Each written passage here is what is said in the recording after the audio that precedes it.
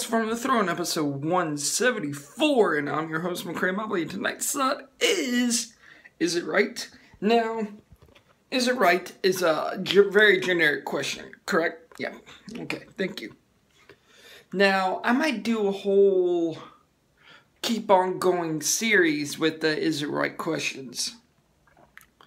So this might be a constant, is it, or constant thoughts from the throne. Is it right? Blah, blah, blah. Is it right? Blah, blah, blah. Well, tonight's is Is it right to buy a lottery ticket, then pray for us to win?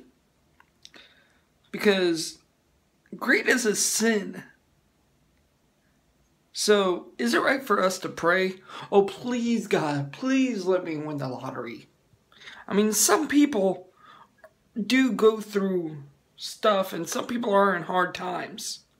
I myself, I'm on the edge of poverty. You know, it might not seem that way, but I get help from Social Security Disability, and I have a part time job. So, most of my money's gone within the first couple days of getting it every month. Because I got bills to pay, I got rent to pay. So, yeah.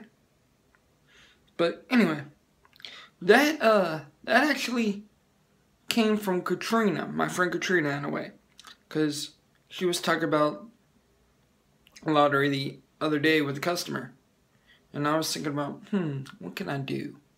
And then the customer said, you know, I can only hope that I, you know, win. And Katrina says, yeah, I pray that you do.